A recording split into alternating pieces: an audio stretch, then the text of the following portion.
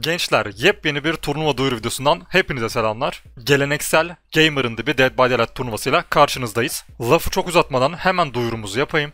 11 Temmuz Pazar günü saat 18'de 32 takımın yer alacağı bir Dead by Daylight turnuvamız var. Videonun açıklama kısmından veya da ilk yoruma sabitlediğim linkten şu an gördüğünüz turnuva sayfasına ulaşabilirsiniz. Turnuvamızın mantığı diğer turnuvalarımızda aynı. Buradaki açıklama kısmından hangi şartlarda kimin tur atladığını öğrenebilirsiniz. Fakat bundan sonraki turnuvalarımızda büyük ihtimal bu kuralları değiştireceğiz. Yani daha fazla escape alan takım değil de daha detaylı, jeneratör yapma, kancaya adam asma üzerine puanlı sisteme geçeceğiz. Yani Avrupa'daki sisteme geçeceğiz. Buradaki açıklamaları ve kuralları çok dikkatli okuyun. Çünkü turnuvalarda çok fazla diskalifiye yaşanıyor. Şimdi turnuva şartlarını ve kurallarını anlatayım. Ardından turnuvaya nasıl kayıt olacağınıza gelelim. İlk öncelikle arkadaşlar ödülümüz 400 lira. Yani turnuvayı kazanan takıma kişi başı 100 lira. Ödülünüz Steam cüzdan kodu olarak ödeniyor. Gelelim turnuva şartlarına. İlk olarak burada gördüğünüz Discord linkine tüm takım üyeleriyle birlikte katılıyorsunuz. Çünkü gerekli tüm duyurular buradan yapılacak ve maç saatinde odalarınıza yer almanız gerekiyor. Eğer maç saatiniz geldiğinde odanızda yoksanız veya eksikseniz turnuvadan diskalifiye edileceksiniz. Onun harici Discord'daki duyuruları sürekli takip edin. Çünkü takım odanıza girebilmeniz için rol almanız gerekiyor. Discord'da turnuvaya ait bir oda olacak ve o odada takım arkadaşlarınızın nicklerini etiketleyip özel odanıza girebilmek için rol alacaksınız. Bu konuda bir sıkıntı yaşadığınız zaman moderatörlerle iletişime geçebilirsiniz. İkinci şartımız şu gördüğünüz Steam hesabına başta takım kaptanınız olmak üzere takımınızdaki herkesin arkadaşlık siteye göndermesi gerekiyor. Lobi kurmak adına size davet atabilmemiz için. Turnuvamıza PlayStation, Xbox ve bilgisayar üzerinden katılabiliyorsunuz arkadaşlar. Yani bilgisayardan gelenler Steam hesabına arkadaş ekleyecek. Fakat diğer platformlardan geliyorsanız maç saatiniz geldiği sıra eklemeniz gereken hesabın arkadaşlık kodu size gönderilecektir. Yani PlayStation'dan veya Xbox'tan da katılabilirsiniz turnuvamıza. Gelelim turnuva kurallarına. Zaten burada her şeyi detaylıca yazdım. Fakat diskalifiye yaşanmaması adına, çünkü gerçekten diskalifiye olan takımlara çok üzülüyorum. Detaylı bir şekilde tekrardan açıklayayım. İlk maddede bahsettiğim gibi turnuvaya tüm platformlar üzerinden katılabilirsiniz. İkinci maddemiz disconnect atmak yasaktır. Yani diyelim sonra iki kişi kaldı. Üçüncü kişi disconnect atıp dördüncü kişinin hatch'ten kaçmasını sağlamak yasak. O konuda lütfen akıllı davranmaya çalışmayın. Üçüncü kuralımız her iki takımın iki katil banlama hakkı vardır. A takımı ile B takımı vs atıyor. A takımının survivorları B takımının katilinin oynamasını istemediği iki katili banlıyor ve B takımının katili o iki katil hariç istediği herhangi bir seçimi yapıyor. Bunun aynısı B takımının survivorları A takımının katiline karşı oynadığı zaman da geçerli. Diğer kuralımız camp ve tunnel serbesttir. Bu konu hakkında yapabileceğimiz hiçbir şey yok. Buna her ne kadar bazen sinirlensek de bu tamamen bir strateji arkadaşlar. Kurbanların da ona göre bir perk dizilimi ve oyun tarzı benimsemeleri gerekiyor. Bu konuda da lütfen yayın chatinde A camp atıyor, A tunnel atıyor diye katillerin üstüne gitmeyin.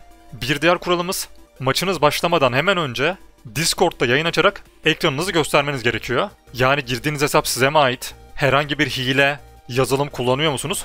Bunlar gerekli moderatör ekibimiz tarafından kontrol edilecektir. Bu konu hakkında herhangi bir bilgiye sahip olmanız gerekmiyor. Moderatör arkadaşlarımız size gerekli yönlendirmeleri yapacaklar arkadaşlar. O yüzden herhangi bir stres yapmanıza gerek yok. Sıradaki kuralımız yeni bir kural. Önceki turnuvalarımda olmayan bir kural. Kurbanlar için sarı ve kahverengi renkli eşyalar ve eklentiler serbest.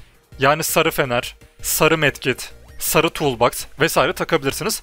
Aynı zamanda bunlara sarı veya kahverengi eklenti takabilirsiniz. Bir diğer kuralımız bu kurala ekstra bir kural daha ekliyor. O da şu.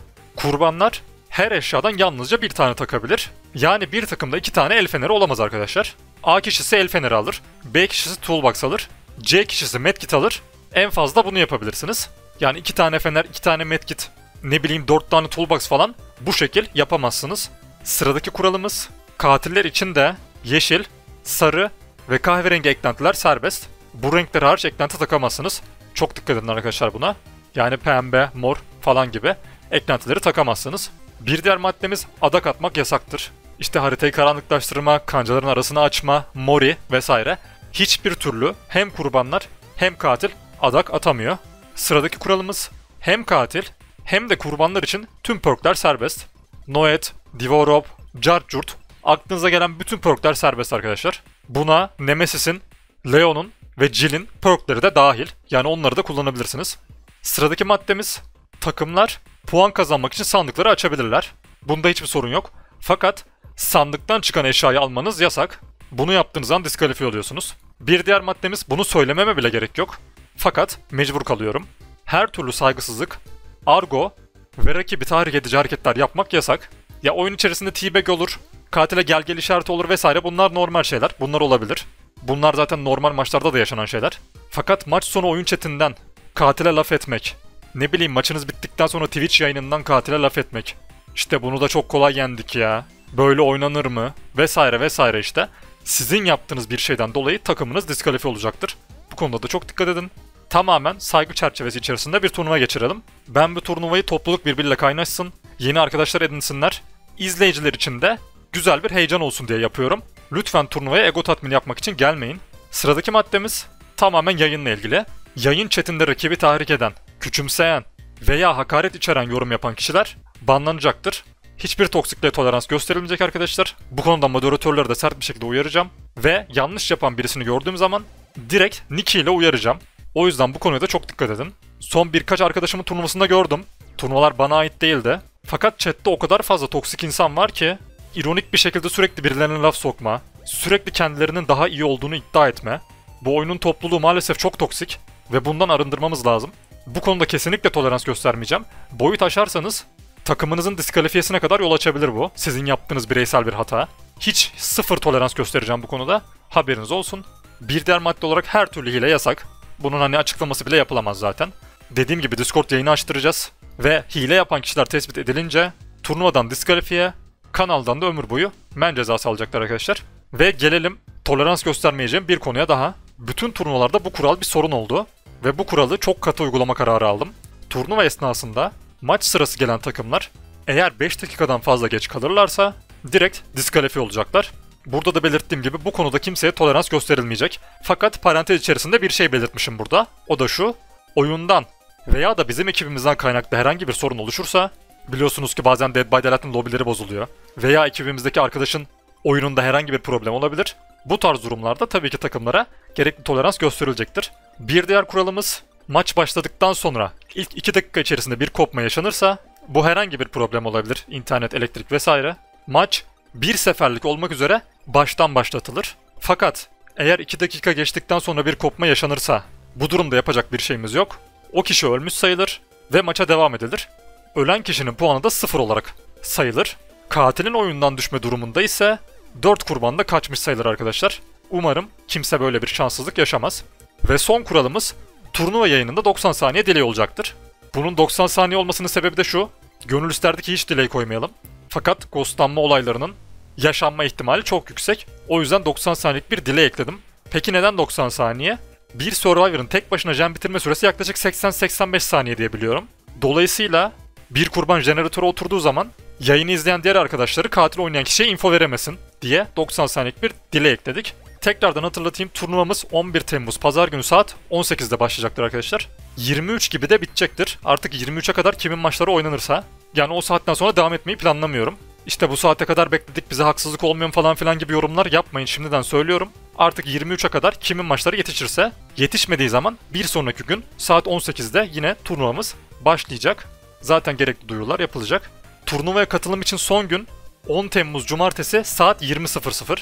Zaten 10 Temmuz Cumartesi günü saat 7'de bir yayın açacağım. Ve 8'de kuralları canlı yayında herkesin göz önünde çekeceğim. Gelelim turnuvaya nasıl katılacağınıza. İlk öncelikle turnuva sayfasına ulaşıyorsunuz. Ardından sağ üstte bulunan mavi login butonuna basıyorsunuz ve burada hesabınız varsa giriş yapıyorsunuz. Hesabınız yoksa da sign up diyerek alttan hesap oluşturuyorsunuz. Bunu sadece takım kaptanınızın yapması yeterli. Takımınızdaki herkesin üyelik açmasına gerek yok. Hesabınıza giriş yaptıktan sonra buradaki yeşil butona tıklıyorsunuz.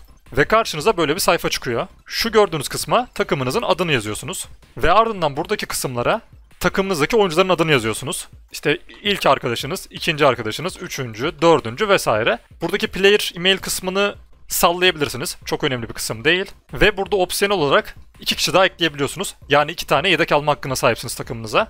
Ardından buradaki her şeyi doldurduktan sonra buradaki kutucuğu işaretliyorsunuz.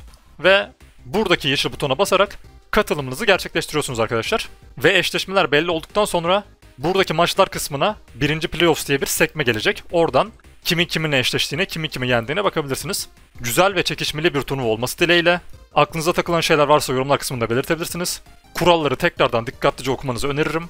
Kendinize çok iyi bakın. Bir sonraki videolarımızda ve turnuvamızda görüşmek üzere. İyi günler, iyi eğlenceler.